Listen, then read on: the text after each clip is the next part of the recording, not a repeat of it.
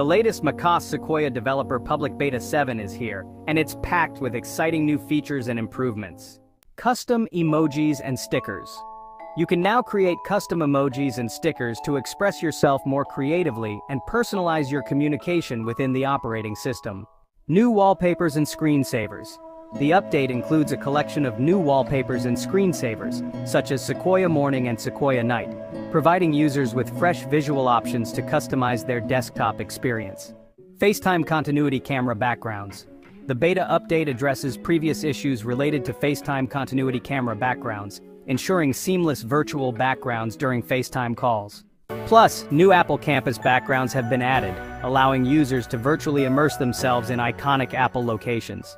Application enhancements. Minor bug fixes have been applied to popular video editing applications like Final Cut Pro and iMovie, contributing to improved stability and performance.